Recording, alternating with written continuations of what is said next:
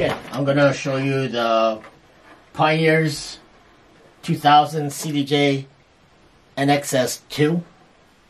Alright, from the top to the bottom. And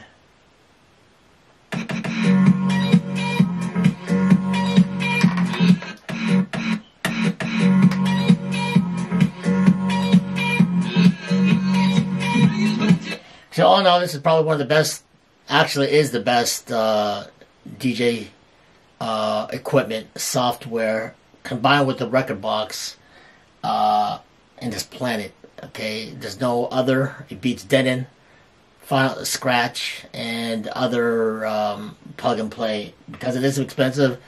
It's got all the bells and whistles. It is worth the money. You just gotta know how to hook it up and play properly. So for those you are uh, Pioneers. We do a lot of Pioneers. Since I've, I've been using a Pioneers for well over about 15 years now.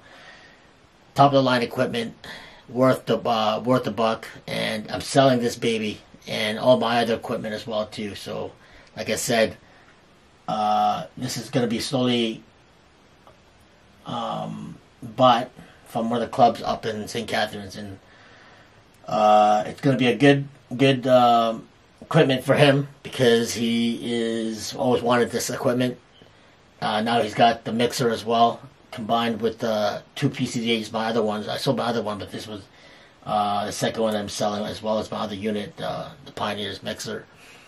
And it's going to be a really worthwhile for his club, and it's going to be rocking once this whole pandemic is done. We'll be able to play music again and have a good time, hopefully. We'll see what happens. But Thanks for watching for this uh, DIY and my Pioneer uh, 2000 NXS2 and my Pioneer 900 NXS2 mixer ready to be sold. Thanks for watching, guys. See you in the next video.